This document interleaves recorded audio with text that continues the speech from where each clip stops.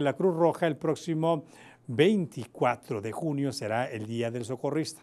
Y la Cruz Roja hizo una demostración de lo que hacen sus voluntarios, cómo trabajan, cómo es la dinámica a la que se enfrentan diario.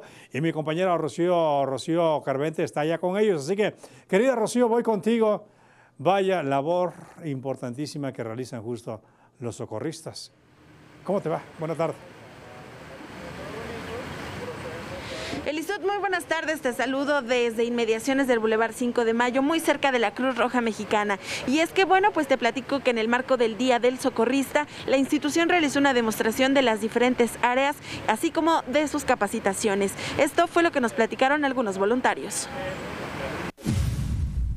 La Cruz Roja Ciudad de Puebla es de suma importancia para la sociedad. Voluntarios sin recibir pago alguno integran este equipo que ha brindado ayuda humanitaria en situaciones de emergencia, como la explosión en Xochimehuacán, la de la Diagonal y un sinfín de accidentes vehiculares.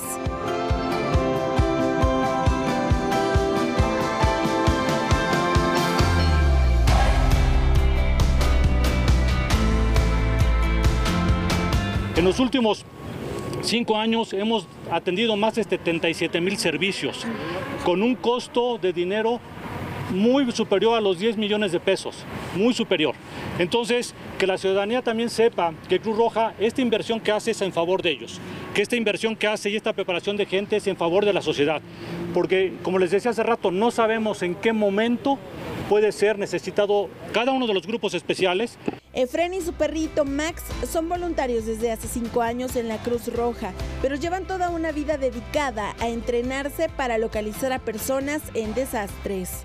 Sí, claro, la más reciente fue la explosión en donde cayó una estructura de un edificio aquí en la 2, 2 Poniente y Diagonal, donde desafortunadamente pues, hubo tres fallecidos.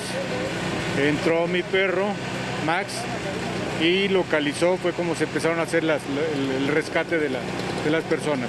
La unidad de rescate acuático también juega un papel fundamental, pues en la mayoría de los casos se extraen cuerpos de personas fallecidas por ahogamiento, siempre con respeto y humanidad. Fue un rescate en Atlisco, fue una noche donde habían dado por desaparecido un niño, decían que se lo habían robado, pero la realidad es que el niño se había ahogado en un Hawái y pues era un niñito de tres años. Lo encontramos después de, pues, después de una hora de, búsqueda en la oscuridad y con el agua fría. Es una persona que pues lo están esperando sus familiares, lo tratamos con mucho cuidado, con mucho respeto, lo tomamos como si tuviera, en mi, en mi caso, como si tuviera todavía vida. Pues obviamente darle la dignidad y, aminorar el, el peso eh, del, pues obviamente el dolor, ¿no? Aminorar el dolor de la familia y pues esa como tal es una de las funciones principales de la Cruz Roja, o sea, ayudar de manera humanitaria. A nivel estatal son poco más de 400 voluntarios que forman parte de la Cruz Roja.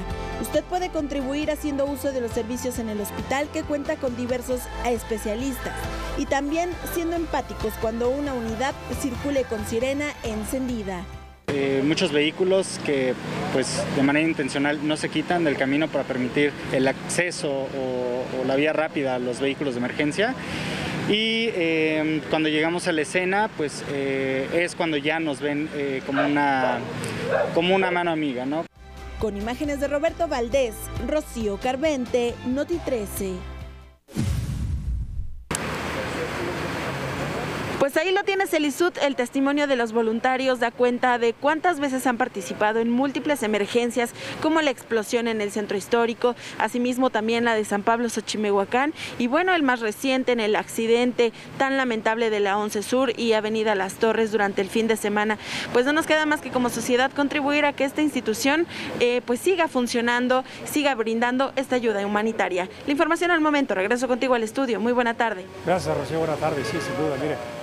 Es una gran labor los que hacen los integrantes, los socorristas, los voluntarios de la Cruz Roja. Así que cuando pueda ayudarlos, ayúdelos, porque ellos ayudan y mire de qué manera. Y sí, esto que decían, luego va la ambulancia con la sirena, la torreta encendida y no se quitan cuando hay alguien que está esperando que lleguen y rápido y pronto. Y no falta la candalla que ya pasó la ambulancia y que cree, se pega atrás, ¿no? Le digo de que los hay, los hay.